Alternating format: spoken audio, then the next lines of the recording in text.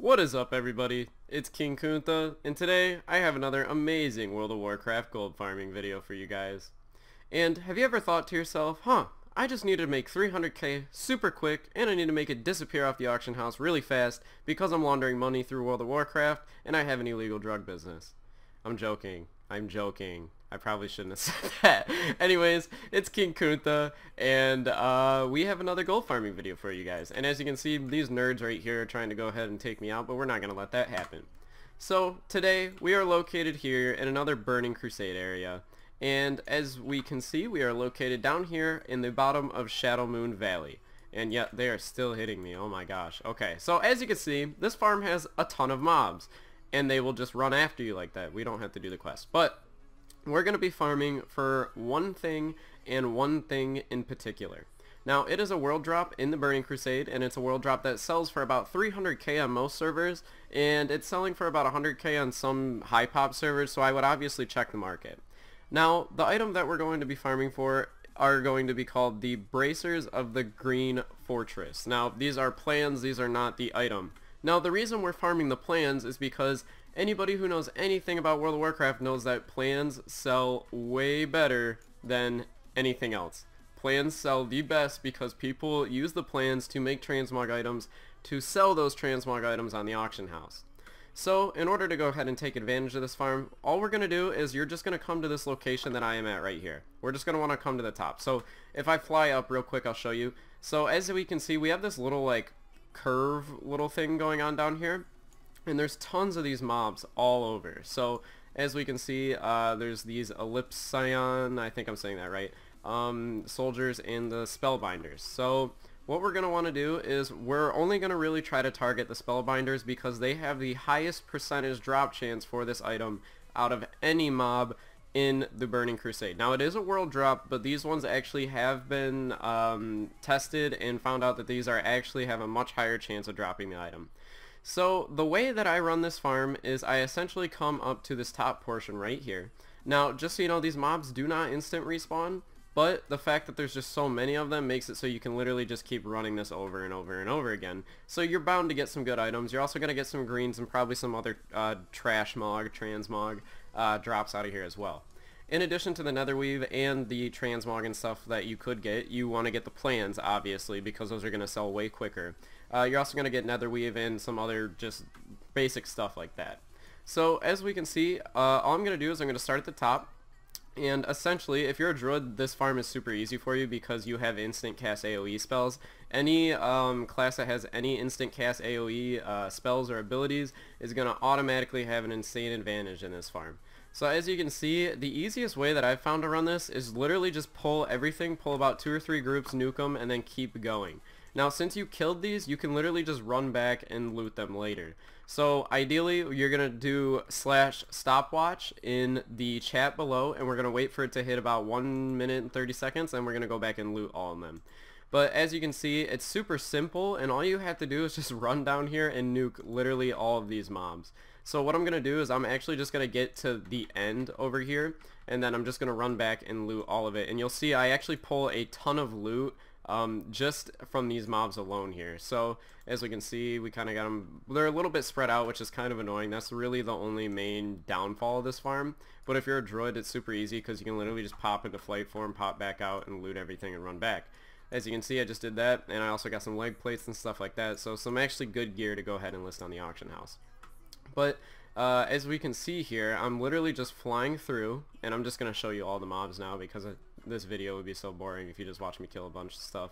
So after you get to the, like the Crimson Watch, you can turn around and then start heading back down this trail down here. Now I already nuked the mobs down there, so there might not be as many, but as you can see, there's tons of groups of them. Literally tons of groups of them.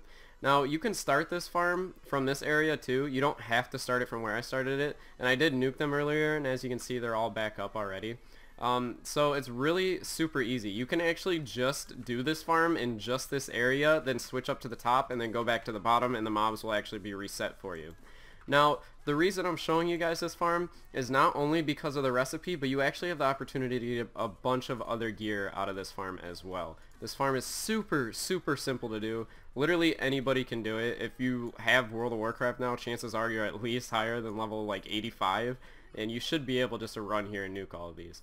Now, just keep in mind that all these mobs do have a chance to drop it because it is a world drop, but the spellbinders are the ones with the highest chance to drop it. So ideally, you're going to try to target the spellbinders and uh, loot them quicker maybe than the rest of them, but really there's just so many mobs that you can just keep doing this for hours. This is a great farm if you need netherweave because you'll pull just an insane amount of it in this farm. As you can see, it's just me running up and down, nuking, nuking, nuking, and non-stop. That's really all this farm consists of. Uh, it's super simple to do. The only caveat is the fact that all the mobs are spread out so far away, and that's kind of irritating. But as you can see, uh, I just nuked all of these, and there's still more mobs coming up and stuff like that. So it's really easy just to go ahead and pick all this stuff up. Now, chances are you're probably one of the only people farming this because not a lot of people uh, actually do attempt to go out and farm this. Um, just because of the location, most people actually get these drops out of raids just randomly uh, but targeting it like this with all these mobs actually makes it so much simpler than just running a raid and nuking the whole thing because you can literally just do this non-stop. And uh, if you have some way of holding aggro and keeping them, you can actually just bring them with you the entire way. Um, it's super easy to do, as you guys can see. Literally just look at this. I'm literally just standing here, and they're just coming to me. Like, how, look at this. What kind of mob density do you know anywhere in the game that has this kind of like ability like this. It's very, very good spot and not a lot of people take advantage of this. You can also mine these for some like extra nodes and stuff and crystal fragments if you need them. Um, they will sell in the auction house. Not super well, but they will. Um, but again, you will pull a ton of nether weave and stuff like that. So if you're a tailor, this farm is really good for you. And also if you're a, an enchanter, you can disenchant all this stuff. And a lot of people are looking for Burning Crusade mats because a lot of people that like have the plans uh, for these gauntlets uh, do actually need the items that you can actually get disenchanted out of them to make them. So those are really the two options you have there. And if you are a blacksmith and you just want to keep the plan and keep selling those bracers because they sell for a ton on the auction house and a lot of people are looking for them, um, you can do that as well. Obviously, it's going to take a little bit longer than just selling the plans itself. And uh, if you're looking for an easy cash out, the plans sell for about 300k, so it's easy to do. And uh, if you're looking for some long-term gold investment, you can actually just keep the plans, make them, and keep selling those on the auction house. Now, this is really a market that's kind of been untapped in World of Warcraft, to my knowledge. Uh, from all the search and research that I've done on this, um, this farm is actually pretty good, and you guys should come check this out now as I post this video, because I guarantee there's going to shoot up and there's going to be a ton on your auction house. As you can see, these mobs are already back up already, so this farm is super easy to do. Just run through it. Literally, like, requires no effort whatsoever, just running around and AoEing stuff. So it's not difficult, and uh, I think you guys will really like it. So what I'm going to do now is I'm going to cut the video and uh, we're going to talk about the channel, talk time with Kunta, all that good stuff. Um, and yeah, so stay tuned if you're interested in any of that. We'll see you there. Alright everybody, we're back after that cut. And basically, um, all I wanted to talk to you guys about is the type of farms that I'm going to be putting out um, more often now. So as you can see, I've been farming up a lot of plans lately, and they've actually been doing pretty well for me on the auction house. So I thought that I just bring the methods that I use that work well for me and show them to you guys.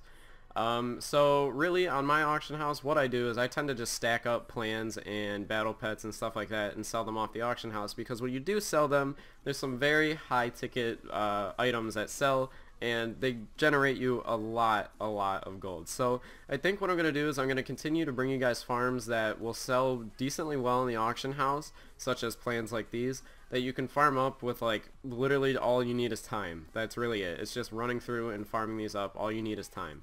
Um, and yeah, so that's all I wanted to tell you guys about the videos right now. And I also wanted to thank you guys for almost pushing me. I am literally so close to 10k subs. Like, I don't know. I say this like every time, like when I hit 5k and stuff like that, but 10k is just, it's a whole nother bar ballpark. Like, I never even thought I would ever get to 10k subs, but like that's just an insane number of people that like support me and watch my channel, and I just wanted to say thank you because without you guys, this channel would be nothing, and it's really like it's made me so happy that I've gotten to this point. I never ever thought that I would get to this point. When I first started making videos, I like I had 3k that was cool, 5k that was cool, but like 10k that was like out of the reach for me, stuff like that. But I really don't know like I, I think we're just gonna keep going from here. Um I I'm literally so happy about this guys. You you have no idea. Like 10k subs is a very very high milestone and I'm very happy to almost be there and it's really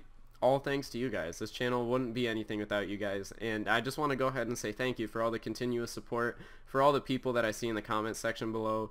Um, I see you guys here in every video like Pokey Girl, people like that. I, yep, I'm just going to th start throwing some shout outs there. I see some people in the comments literally every time. Aiden Hayes, he's always in the comments. Um, and your guys' support really makes my day. Like, I read every single comment. I know I don't really have the opportunity to respond to a lot of them because I am a pretty bu uh, busy college student. But um, I just wanted to go ahead and say thank you to everyone because I never thought I would ever get to this point. I guess our next milestone is 15k and then I don't even, I can't even fathom what 20,000 subscribers would even look like. Um, and it's it's it literally like it makes my heart start racing just even thinking about it and I can't even imagine where we could go from here because when I started this I didn't think anything was gonna come from it I just did it because I wanted to really and I had nothing better to do with my time but it's it's grown into this cool little community and I'm happy to be a part of it and I'm happy to continue to bring you guys videos. And uh, I just wanted to say thank you for everything that you guys do. And uh, if you did watch to the end of this video comment glow mushrooms and I will heart your comment and uh, yeah all that good stuff. And I'll try to reply to every single one I can but uh, then again I do work and I do have college so pretty busy life here. Um, anyways it's been King Kunta thanks for all the support everybody. It really means a lot to me and I'll see you all in the next video. Bye